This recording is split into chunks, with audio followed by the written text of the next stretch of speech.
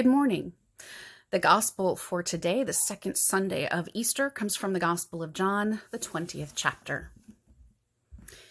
In the evening of that same day, the first day of the week, the doors were locked in the room where the disciples were for fear of the temple authorities. Jesus came and stood among them and said, Peace be with you. Having said this, he showed them the marks of crucifixion. The disciples were filled with joy when they saw Jesus, who said again to them, Peace be with you. As Abba God sent me, so I am sending you. After saying this, Jesus breathed on them and said, Receive the Holy Spirit.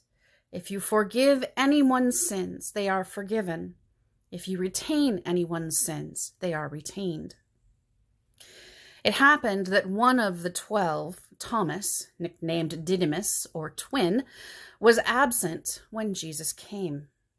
The other disciples kept telling him, We've seen Jesus. Thomas's answer was, I'll never believe it without putting my finger in the nail marks and my hand into the spear wound. On the eighth day, the disciples were once more in the room, and this time Thomas was with them. Despite the locked doors, Jesus came and stood before them, saying, Peace be with you. Then to Thomas, Jesus said, Take your finger and examine my hands. Put your hand in my side. Do not doubt, but believe. Jesus said in response, My Savior and my God. Jesus then said, You've become a believer because you saw me. Blessed are those who have not seen and yet have believed. Jesus, Jesus performed many other signs as well, signs not recorded here in the presence of the disciples. But these have been recorded to help you believe that Jesus is the Messiah the only begotten, so that by believing you may have life in Jesus' name. The Gospel of our Lord.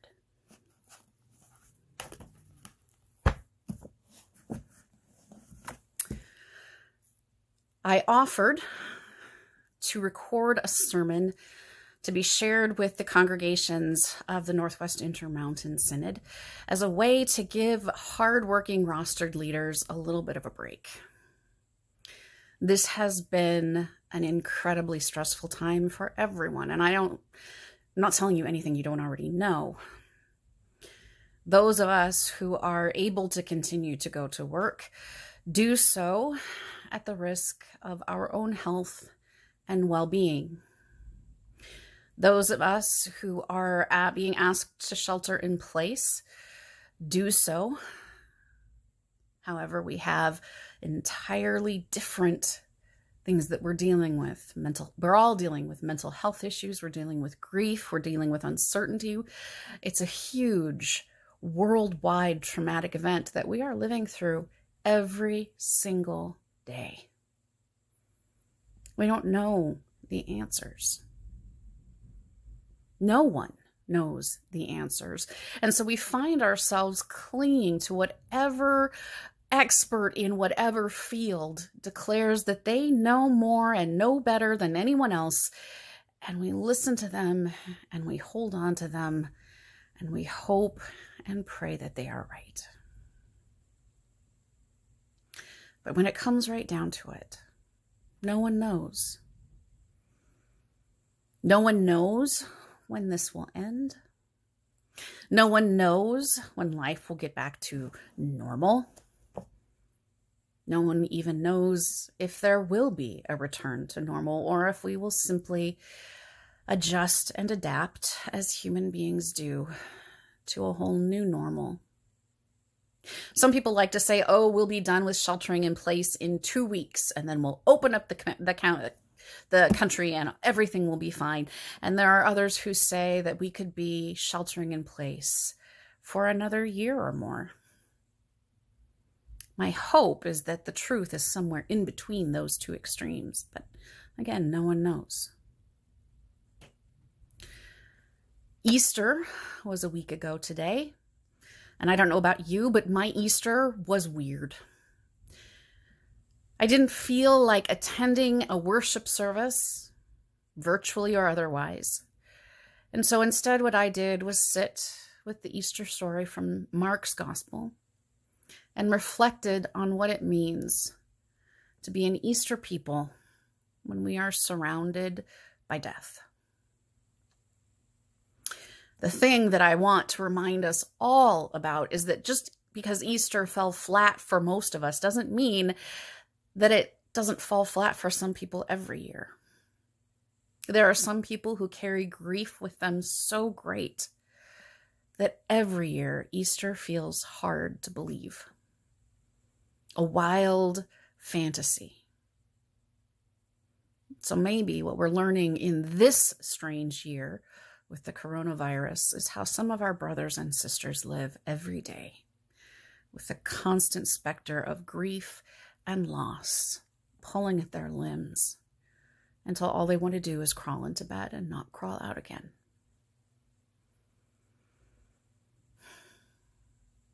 There were no trumpet serenades there were no glorious, He is risen, He is risen indeed, ringing from the rafters of our sanctuaries. There were no sunrise services. There were no Easter lilies. There were no allergy attacks from too many Easter lilies. There was us, and there were screens Maybe later in the day, there was a shared meal with people on other screens eating different meals in different parts of the world or the country. Maybe there wasn't. Maybe you are sheltering in place alone. And so, a holiday that is oftentimes and normally something that you are brought into your family grouping was spent alone, just like all the days that went before and all the days that will come after. It seems to me that this Easter season feels particularly upper roomy. I understand in a way I never really did before. What it must have felt like for those disciples to be gathered together in an upper room with the doors barred and locked because they were afraid of temple authorities coming in and killing, arresting and killing them for being followers of Jesus. They have done everything they can to protect themselves. And yet Jesus comes and stands among them risen with his wounds. He shows them the holes in his hands and he shows them the hole in his side from the spear and he tells them, Peace be with you. Peace be with you. In such a time as what the disciples were living through, such a greeting is so extraordinary. Their lives are literally at stake. They are hiding because if they go out in public, they stand a higher than normal chance of dying. Maybe that sounds familiar in a way it never has before.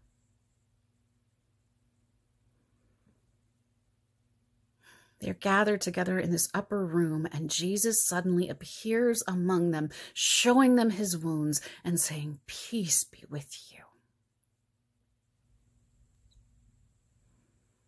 And they are amazed and they rejoice. Thomas, one of the 12 who was not there. We don't know where he was. We don't know if he was with other uh, followers of Jesus. We don't know if he was just out of the room. We don't know anything about that. But he was not with them that first Easter evening. And when he finally comes in and the disciples are excited and they say, We've seen the Lord, Thomas says, unless I can put my fingers in the holes of his hands, and unless I can put my hand inside the hole in his side, I will not believe. Thomas had been a faithful follower of Jesus. He had listened to those promises of Christ and he had internalized them in such a way that he was willing to die with Jesus. Only to see those promises and that relationship with the Savior seemingly to come up null and void. I've never understood people who've bashed the doubting Thomas, as though shame on him for not believing that Jesus came back. But he couldn't do it. He couldn't do it. He needed proof. He needed to be able to put his fingers in those holes, the nails left. He needed to be able to, to reach into Christ's rib cage and feel the heartbeat of our Lord against his fingers. He needed that. And so, a week after Easter, the day we're commemorating right now, the disciples were once again in the upper room with the door bolted and locked. And this time Thomas was there, and Jesus comes and stands among them once again, saying, Peace be with you. And he goes to Thomas, and with not a word of judgment, he simply provides what Thomas said he needed. Here, the hole in my hand. Here, the hole in my side. Don't doubt, Thomas. Believe.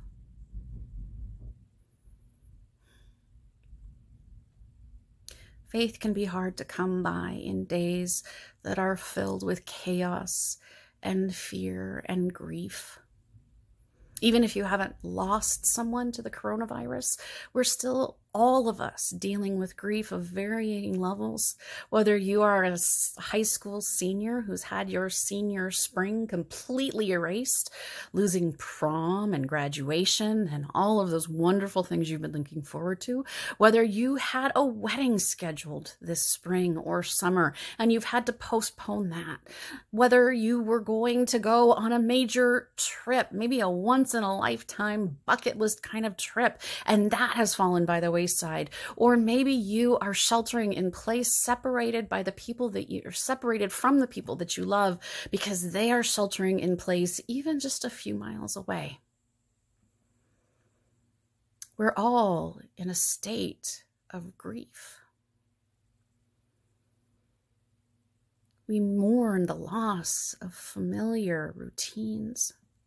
We mourn the loss of events. We mourn the loss of relationships, even if those relationships will come back on the other side of this.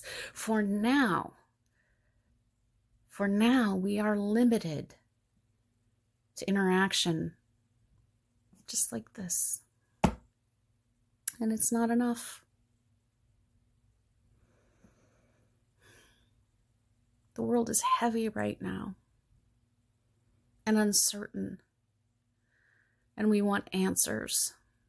And there are no answers to be had. I think this is why the story of Doubting Thomas is so important for us today, in particular. Because Jesus, in either one of his appearances to the disciples, either on Easter evening or on the week after Easter, Jesus doesn't offer answers. He gives peace gives peace. And so, you who are beloved of God and beloved of me, peace be with you. In this storm, in this trial, in this grief, in this uncertainty, in this time of loss, the peace of Christ be with you. There will be days when it doesn't feel like enough, and there will be days when it is all that you need, but you have it given to you freely by the risen Lord Himself. So come, Place your fingers in the holes of the nails.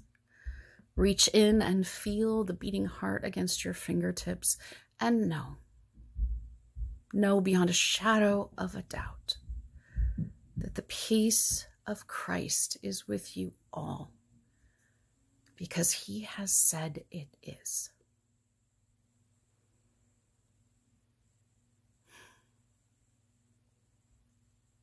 In these days and weeks that follow, be careful of yourselves. Be careful, full of care of one another. We are all experiencing something that has not been experienced for generations. And it's okay to be sad, and it's okay to be angry, and it's okay to be confused, and it's okay to be anxious and depressed and worried. It's okay to have moments of hilarity. It's okay to have moments of quiet joy. All of that is okay and it makes sense. But never, ever forget that Christ is with you always, in the midst of all of it loving you, forgiving you, and granting you his peace. Thanks be to God. Amen.